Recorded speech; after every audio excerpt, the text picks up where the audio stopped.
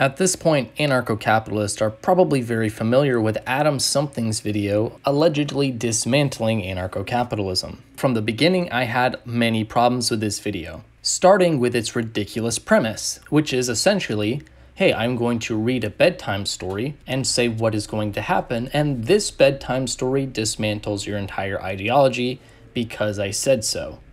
Outside of the brief discussion on Iceland in the beginning, Adam doesn't bring up real world examples, and he does not use any sort of economic theory, especially not the Austro libertarian theory, which is commonly held among anarcho capitalists. Adam Something's video was obviously extremely bad faith. He clearly did not read any literature related to anarcho capitalism. He didn't want to try to understand the ideology, he didn't want to try to critique it, he just wanted a little bit of fun for his echo chamber.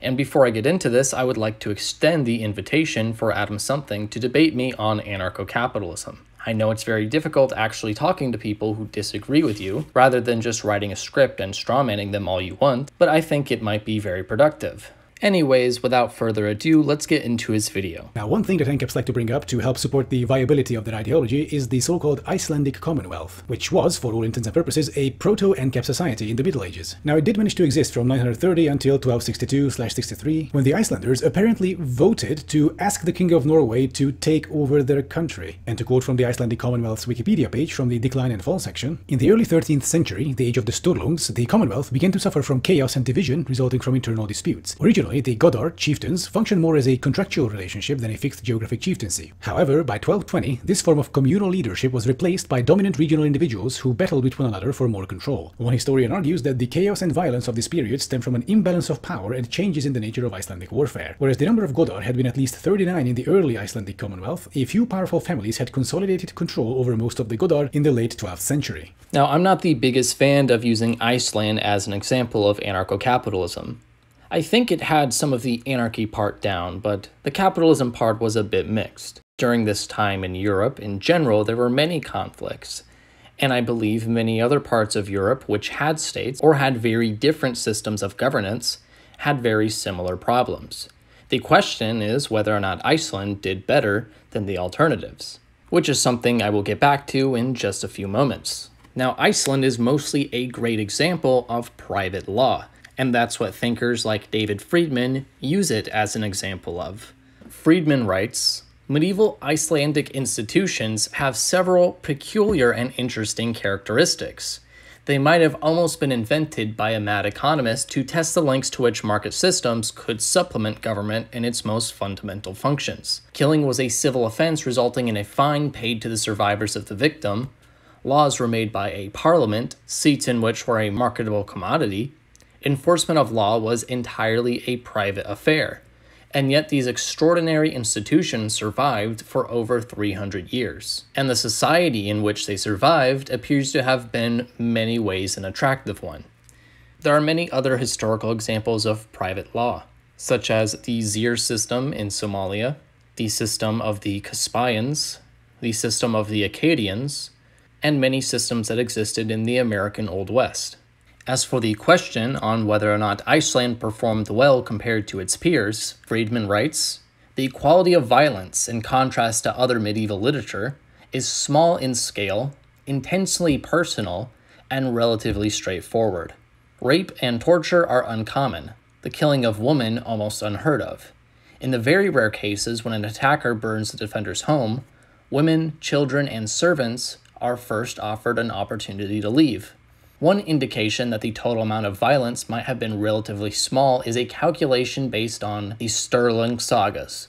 During more than 50 years of what the Icelanders themselves perceived as intolerably violent civil war, leading to the collapse of the traditional system, the average number of people killed or executed each year appears, on a per capita basis, to be roughly equal to the current rate of murder and non negligent manslaughter in the United States.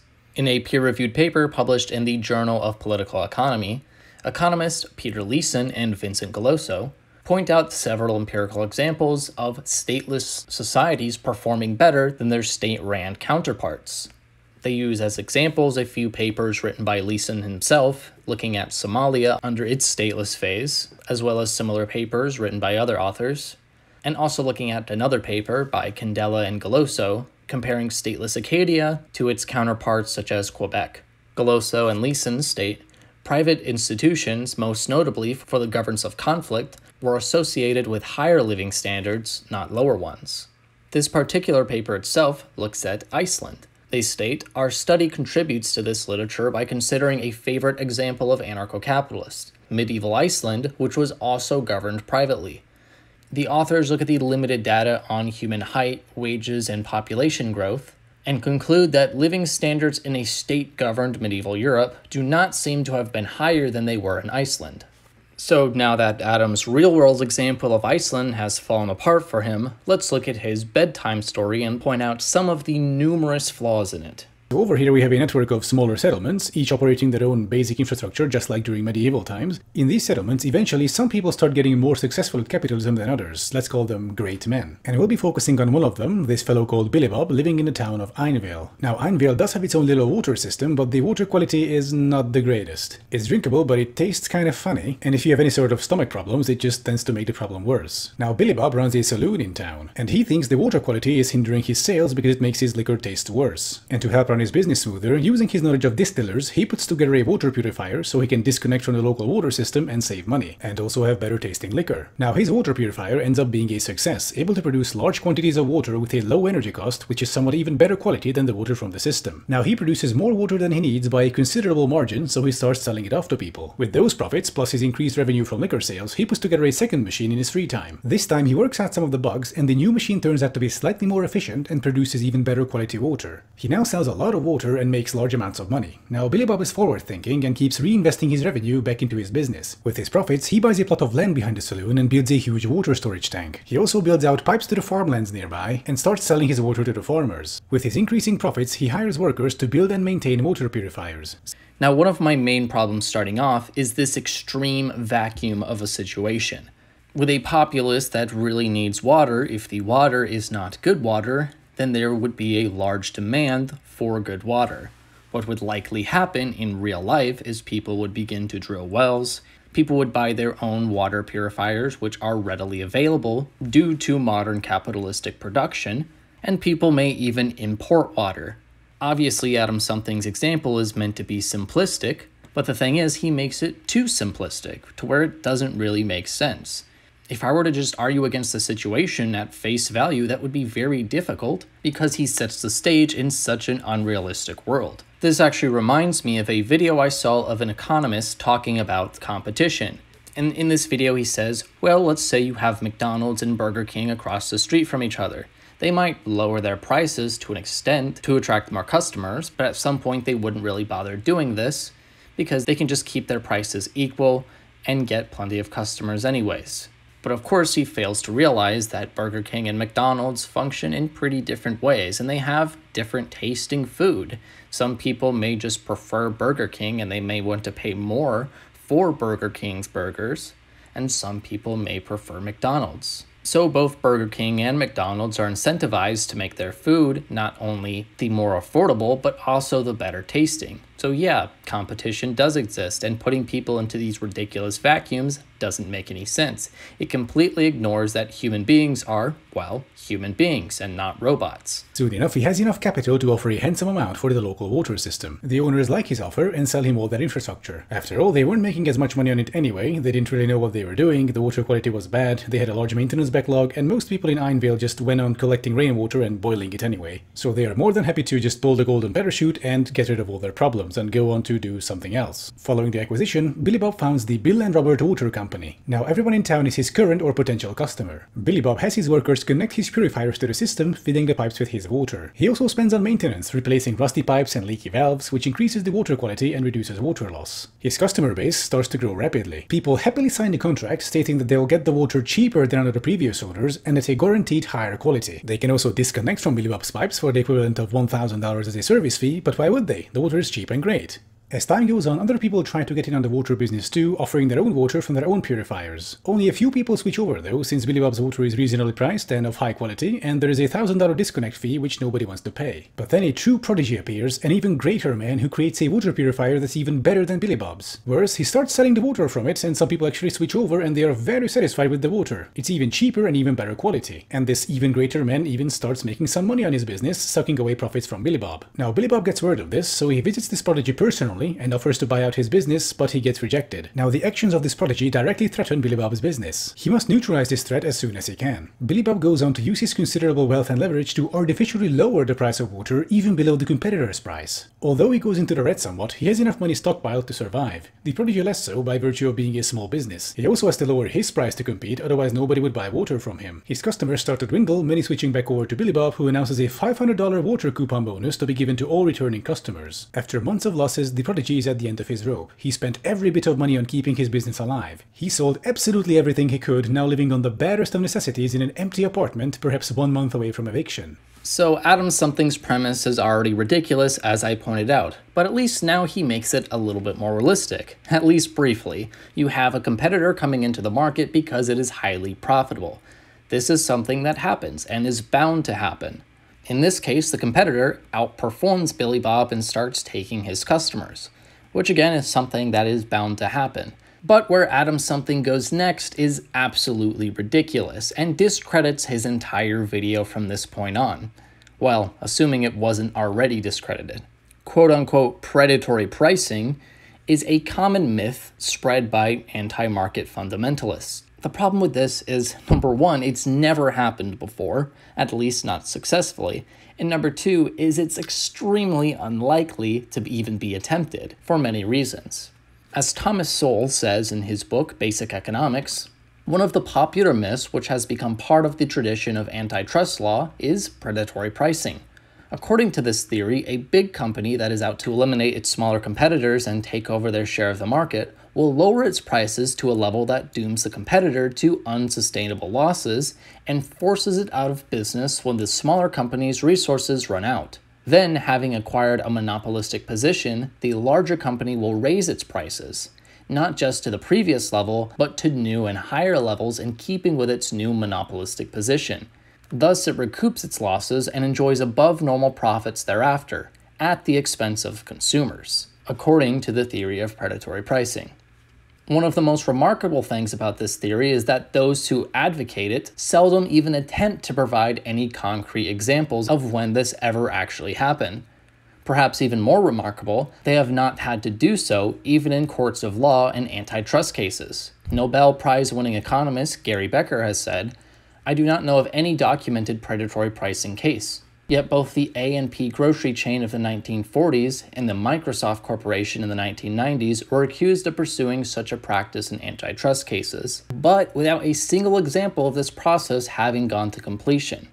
Instead, their current low prices, in the case of A&P, and the inclusion of a free internet browser in Windows software, in the case of Microsoft, have been interpreted as directed toward that end, though not with having actually achieved it.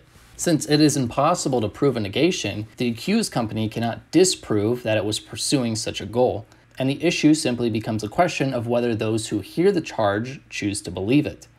Predatory pricing is more than a theory without evidence. It is something that makes little to no economic sense.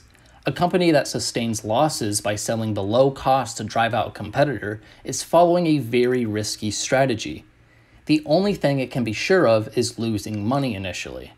Whether it will ever recover enough extra profits to make the gamble pay off in the long run is problematic. Whether it can do so and escape the antitrust laws as well is even more problematic. And antitrust laws can lead to millions of dollars of fines and or the dismemberment of the company. But even if the would-be predator manages somehow to overcome these formidable problems, it is by no means clear that eliminating all existing competitors will mean eliminating competition. Even when the rival firm has been forced into bankruptcy, its physical equipment and the skills of the people who once made it viable do not vanish into thin air. A new entrepreneur can come along and acquire both, perhaps at low distressed sale prices for both the physical equipment and the unemployed workers, enabling the new competitor to have lower costs than the old. and hence be a more dangerous competitor, able to afford to charge lower prices or to provide higher quality at the same price. I highly recommend going and reading basic economics, especially you, Adam Something. His writing on monopoly specifically is absolutely fantastic. Now, I'm going to strongman here a little bit and assume people might bring up examples of predatory pricing, such as Standard Oil. For those people, I will direct you to economist John McGee and his peer reviewed article in the Journal of Law and Economics Predatory Price Cutting, the Standard Oil Case. McGee writes Standard Oil did not use predatory price discrimination to drive out competing refiners, nor did its pricing practice have that effect. Whereas there may be a very few cases in which retail kerosene peddlers or dealers went out of business after or during price cutting, there is no real proof that Standard's pricing policies were responsible. I am convinced that Standard Oil did not systematically, if ever, use local price cutting in retailing or anywhere else to reduce competition. To do so would have been foolish. And whatever else has been said about them, the old Standard organization was seldom criticized for making less money when it could readily have made more. In some respects, it is too bad that Standard did not employ predatory price cutting to achieve its monopoly position. In doing so, it would surely have gotten no greater monopoly power than it achieved in other ways. And during the process, consumers would have bought petroleum products for a great deal less money. Standard would thereby not only have given some of its capital away, but would have also compelled competitors to donate a smaller amount. Now, to finish off this section on predatory pricing, I want historian Tom Woods to tell you a little story. The difference between this story and Adam Something story is this one is real and not a bedtime story that Adam made up in his head one of my favorite stories from American business history, which I do include in, in the book, involves Herbert Dow. The name may ring a bell. He, runs the, he ran the Dow Chemical Company. He's dead now. He would be like 187 today or something. But he founded Dow Chemical around the turn of the century, into the 20th century. And he's a great chemical genius. And he was a really, really hard worker. I mean, really hard worker. He would work 18 hours a day and then sleep at his chemical factory and then start up his day again. Now, sure, it meant he grew like a second head and a third arm from hanging around chemicals all day, but it was rewarding enough for him to see his business prosper. Now, what's the deal with this Herbert Dow? He develops uh, a particularly cheap way of producing a chemical none of us use or have heard of called bromine. Now, bromine to, to this day is still used in film developing, in dyes, it's used, it's used to sedate people. There are a variety of, of uses for bromine. But he could sell it really cheaply. So he's selling bromine in the U.S. and you know, as you can as you can guess, if you sell bromine in the U.S. for after a while, you get a little bored with it. Where else can I sell bromine? So he thinks, how about Europe? I'll sell chemicals in Europe. No problem, right? Except if you try to sell chemicals in Europe, there are a group of there's a group of German chemical sellers who don't want anybody else selling in Europe.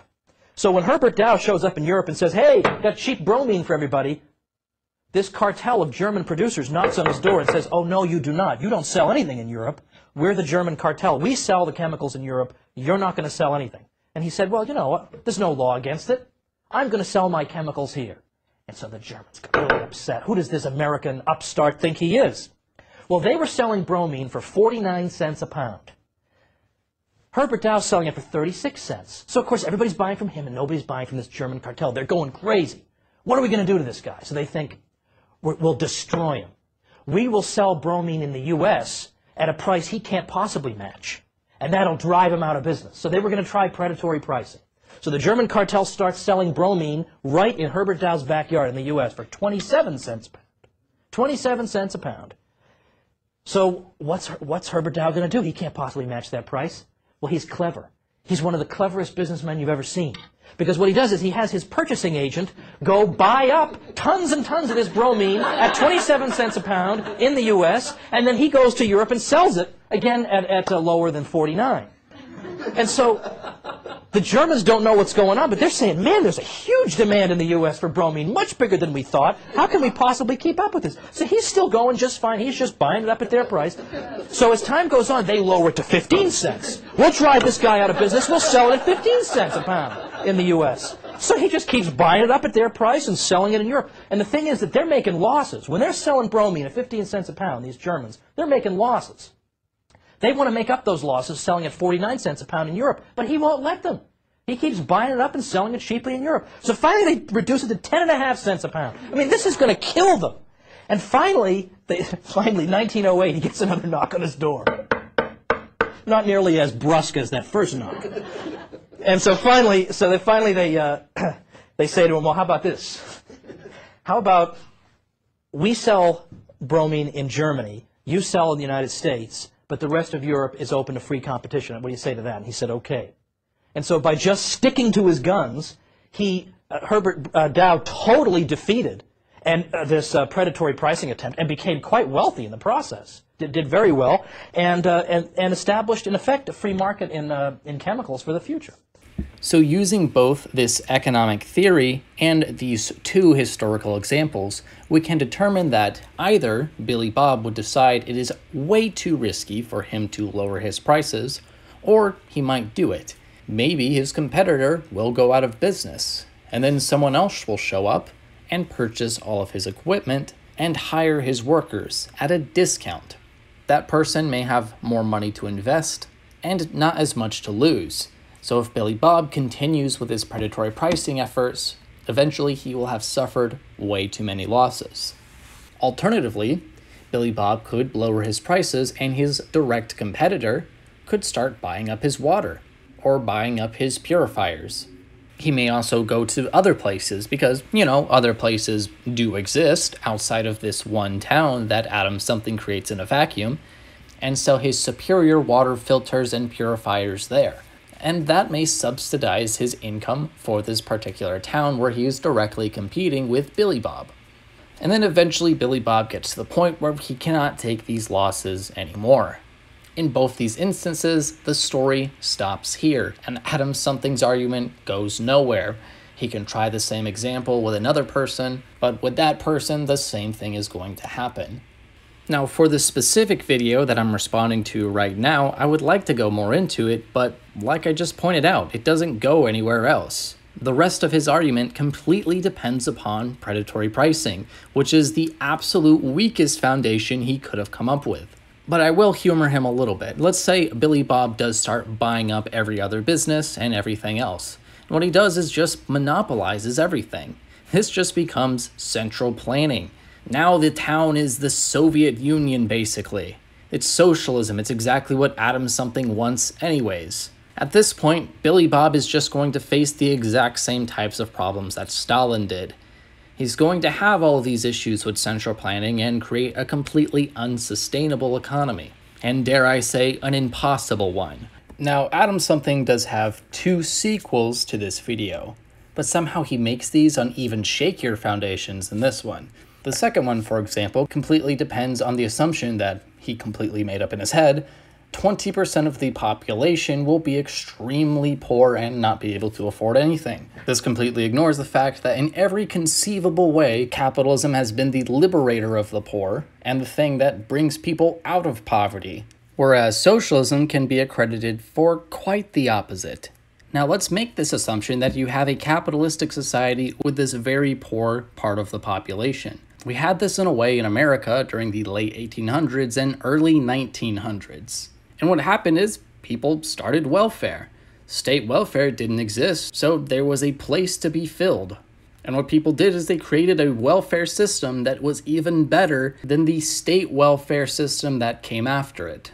Now, of course, the best piece of work on this is David Beito's book, From Mutual Aid to the Welfare State. My friend Mentis Wave did make an excellent video summarizing the book. I will link it in my description, along with many other sources on things such as the production of fence in an anarcho-capitalist society. In David Beito's book, he points out that many of the poorest people became part of these mutual aid and fraternal societies. There was also the medical lodge practice.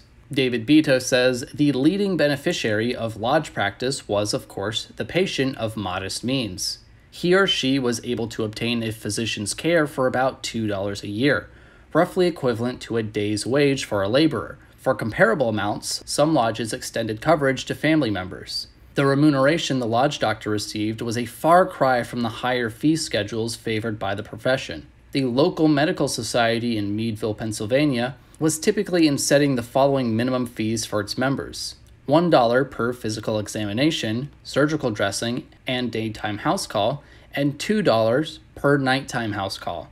Such charges, at least for ongoing service, were beyond the reach of many lower income Americans. Hence, it was not coincidental, an editorial in the Medical Council pointed out that lodge practice thrived in communities populated by the working poor. But unfortunately, people with similar ideas as Adam Something decided this wasn't good enough. So they essentially banned many of these forms of mutual welfare and fraternal societies, and they developed their own state welfare, which became significantly more expensive and significantly less efficient. The private welfare system holds every single pro of state welfare, such as the fact that it's nonprofit and easily accessible to poor people, but it also had every single pro of private competition, such as lower prices through competition and numerous options that could fit individual preferences. Anarcho capitalists have been thinking about these things really for hundreds of years.